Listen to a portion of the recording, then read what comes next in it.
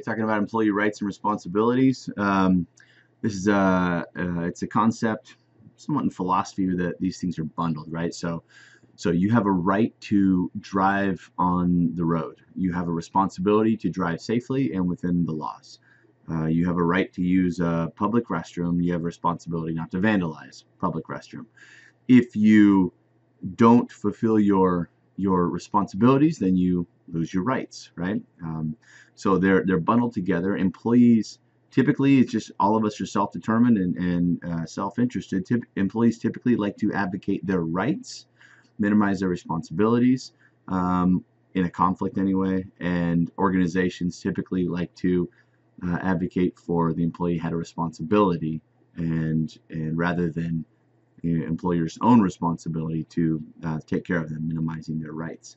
So they're bundled together. We can get to some tensions, so we'll talk about kind of some, you know, investigations, employee discipline, stuff like that. So when we think like um, kind of the HR cop, which we don't we don't talk about a whole lot in here. It's not an effective way, effective uh, mindset for an HR professional, but it is part of our jobs uh, part of a manager's job. When there's an employee who's doing something wrong, then you have to you have to deal with that. So, pretty broad concept. We will uh, we'll start getting into it. A rights rights are power, privileges, or interest um, given by nature or uh, tradition or law. So you might think uh, kind of founding documents for the United States. Um, human beings have been uh, endowed by their creator and have the right to life, liberty, and the pursuit of happiness. Um, so there's idea there that from outside the self, rights are derived from from from somewhere. Um, so it's a broad word. Statutory rights, those are rights that you have based on a specific law. You have a right to a minimum wage. You have a right to a safe work environment. You have a right to uh, collectively bargain, stuff like that. A right not to be retaliated against. Those are laws that are written that provide rights uh, for people. Um, responsibilities, pretty, uh, pretty obvious with that things that we need to do in response to those rights. And if I don't do my responsibilities, eh, I lose my rights. Uh, some other ones, contractual rights. So there's a very, if there's a specific contract, like I think, uh, I think like an employment contract, uh, a collective bargaining agreement is a labor contract between a union um, and its its members in the organization. Or a professional athlete will have a, a, specific employment contract. That will afford a different set of rights, of course, and a different set of responsibilities. Um, you can have a no-compete agreement, um, have people sign when they show up. It means if you want this job, that means you can't go to one of our competitors for whatever it is, one year, three years, something like that. Uh, you also have some rights around the, your intellectual property.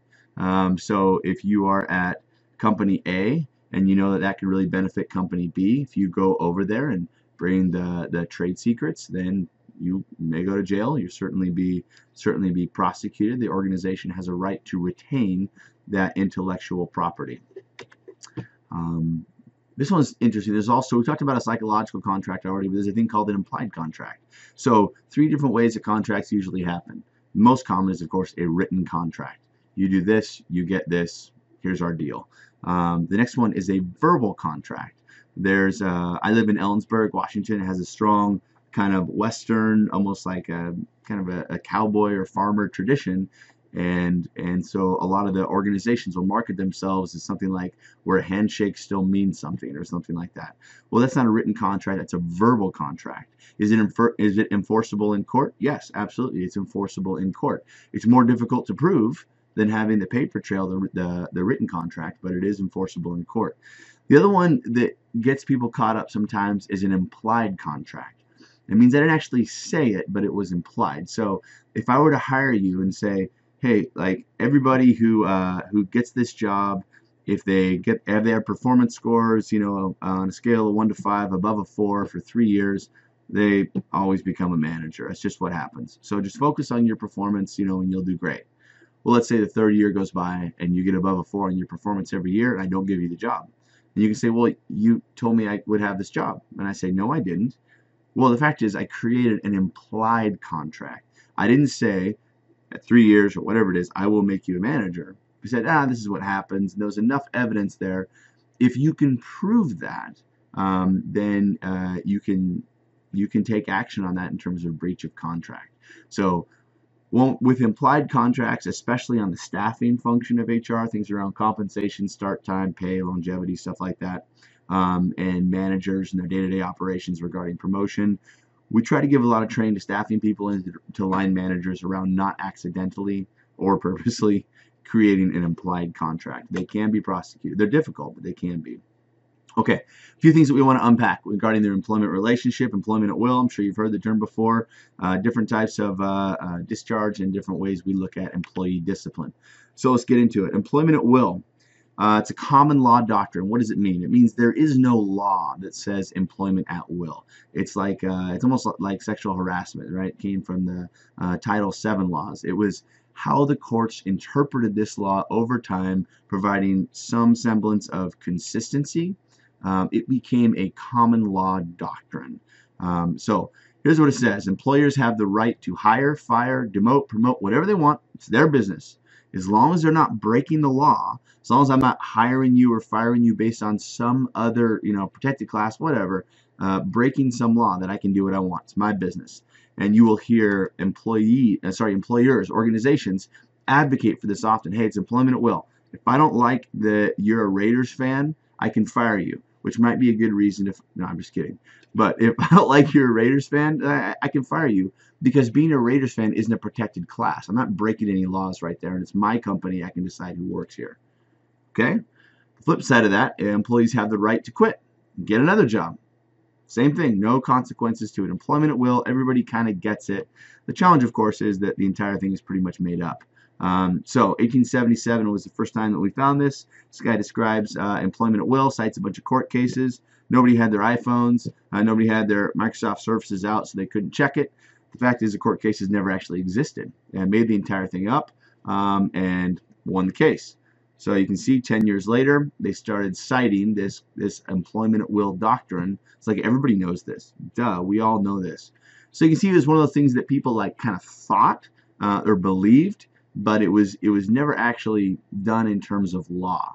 So now we have a weird situation where employers, and organizations, and entrepreneurs and sole proprietors they believe employment will exist, but you have a government entity like the EEOC, for instance, that says that doesn't exist. Show me the law.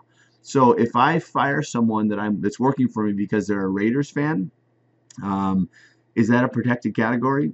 No, it's not. And I would say it's employment at will. I can do that if I want to. The EEOC would say, no, you just took employment action. You have to have just cause to do it. And Raiders, being a Raiders fan is not just cause. I mean, some people might think it's just cause, but you get the idea. It's not legally, anyway, just cause. Uh, as a reminder, union represented employees are not employment at will. Why is that? Because they are contract employees. They have a collective bargaining agreement or a labor contract. Um, there are some exceptions to employment at will cases. Public policy, um, implied contract, talked about a little bit, and the idea of covenant of good faith and fair dealing. What do I mean by that? Um, that means that if someone is on their way to work and they are CPR certified and they drive uh, by a car accident and they pull over and they help somebody out, so they come into work late, and I say, well, you came into work late, I'm firing you. The United States, we go, no, you're not because we want the kind of person who would help somebody else. We don't want someone to be punished for that. Or if you get summoned for jury duty, you have to go to jury duty and they say, well, job abandonment, you didn't show up, you're fired. Uh, we'd say, no, that's a public policy exception there. Uh, people need to be able to respond um, to to things like jury duty or to go testify in court or something for the good of the for the good of the community, for the good of the order. So there are some uh, pretty significant exceptions to employment at will cases. The other one, the covenant of good faith and fair dealing, this one brought up this idea of wrongful discharge. So uh, when we think about what are the things that keep kind of HR people up at night, what are we worried about? One of the things that we're worried about is firing someone for a reason that's either illegal or improper. Meaning, uh, if you're if you're at a big company and you're looking around going, this is so frustrating. I mean, these people, uh, I'm working with this person for 10 years and they, they're horrible at their job and they're always in trouble and the company does not have the guts to actually just fire them. Like this is this is ridiculous. This this is the reason why the company doesn't have the guts. Um, wrongful discharge cases, when you fire somebody, it's got to be squeaky clean um, especially if you're a bigger company, because there's a team of lawyers who would love to take on a wrongful discharge case. So this case is actually pretty interesting. Fortune versus National Cash Register. Kind of a quick summary. Um, basically, this guy gets a um, uh, gets a bonus coming his way because he works all year and gets a gets a commission bonus, if you will. So let's just go in theory. He works from January to November, and he has his big bonus coming in December, and uh, the company fires him. And he says, well, you just fired me because you didn't want to pay that bonus. And the company doesn't necessarily admit it, but in a sense they say, so getting a bonus is not a protected category. There was no contract that said you got that bonus. We don't owe you that. The bonus is for if you're an employee at the time all year and you weren't an employee all year because we fired you. And he says, well, that's garbage. You fired me because you didn't want to pay me. And the company basically said, so what? So it goes up to, I believe it's the Ninth Court Circuit of Appeals. I have to double check that in San Francisco, um, where the company said, hey, look, we fired this guy. Employment at will. We did not fire him for any illegal reason. There was no law. And the court basically said, uh, good point. You're right. It wasn't illegal, but it should have been. It was improper. Um, and so they ended up uh, losing, and we came up with this idea. The court came up with this idea of a covenant, which means that like an agreement, a covenant of good faith and fair dealing. Um, so this isn't, it's not in every state, depends on where you are, but but it's a good idea to keep in mind anyway for any organizations. Like the idea here, uh, not just not just morally and ethically, but also legally, is that you deal with people in a fair way, right? This person works all year, going to get a bonus. You're not just going to fire them unless it was, you know, coming to work and punch somebody out, something like that. Um, but you're not going to fire them and withhold the bonus.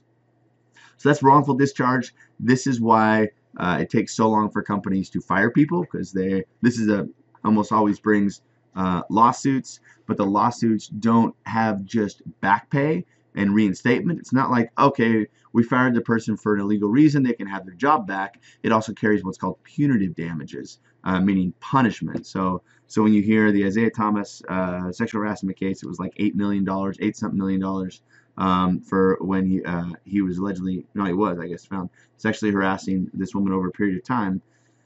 Was her job was eight million dollars? Was that for back pay? Is that how much she made? No, of course not. She's making like I don't know 150 200 grand a year, but it was eight million dollars because it was punitive damages. It was punishment.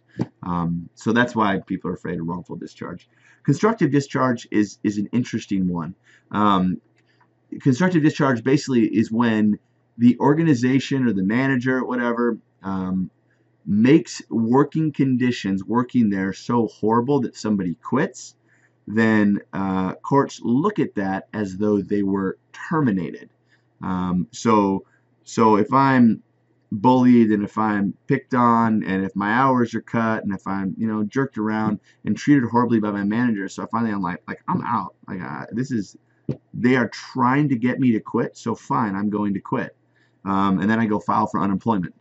And uh, the company says, what do you mean unemployment? You quit. Well, actually, no, I was fired.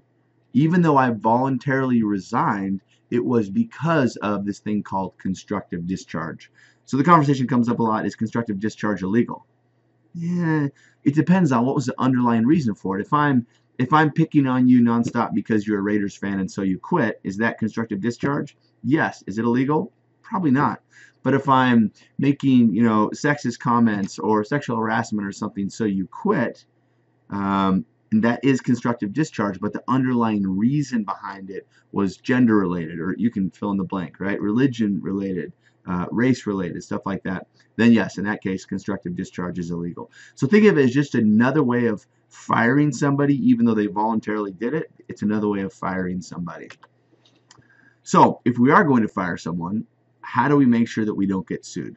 So if you're a manager, inevitably you will encounter a situation where you're trying to fire someone and your boss or your HR person says, not yet.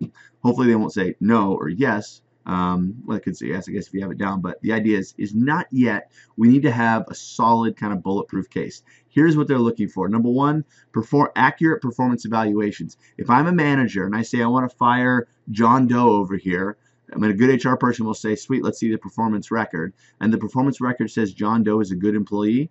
Then I didn't do my job as a manager. Unless something switched quickly, in that case, I need to document it. So the performance evaluations need to say they do a, a poor job. Um, there needs to be good justification for it. Like this is how we decide when to terminate somebody.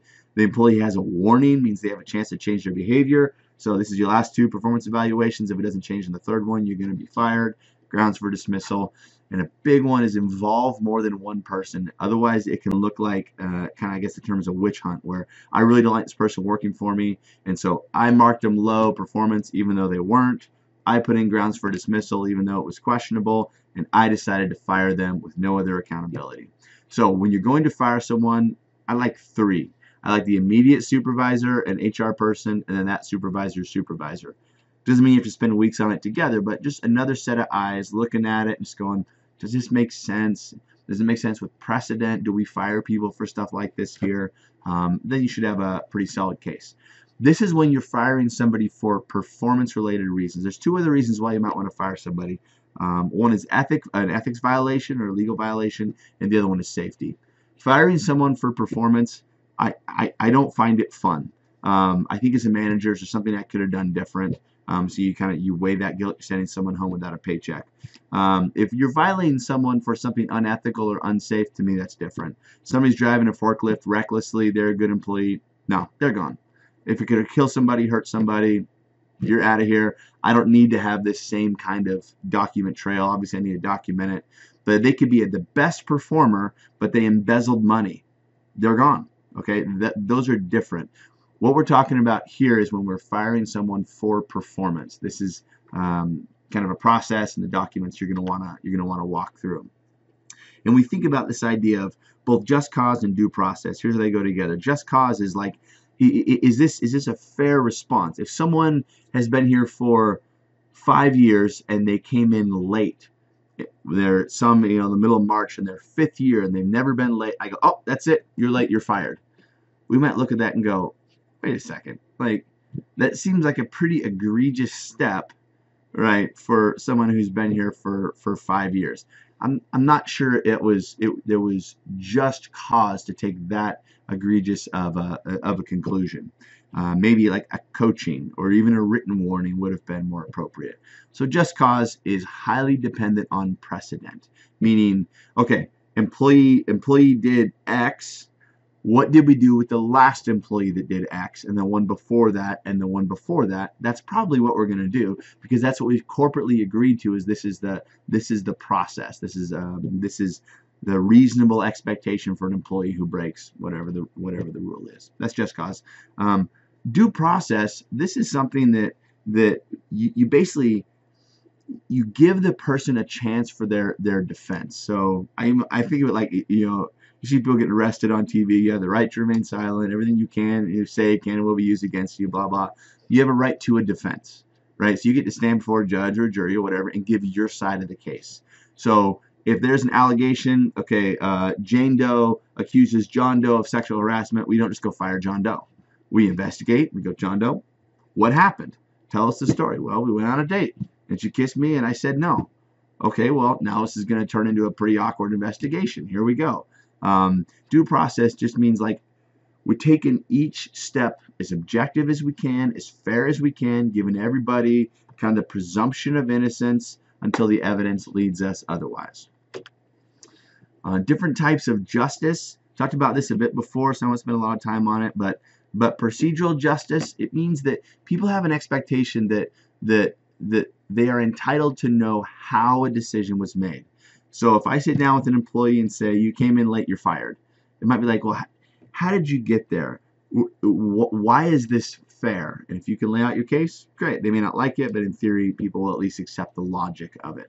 So procedural justice is, is there fairness behind the procedures that were, that were done? Were all these closed door meetings? Was it made just by one person? Due process? Did the person have a chance to explain their actions? Stuff like that. Um, distributive justice has to do with the, the, the fairness and the distribution of outcomes. So why is it that um, every every uh, woman who complains about sexual harassment ends up getting a job transfer, but if a man does, it doesn't?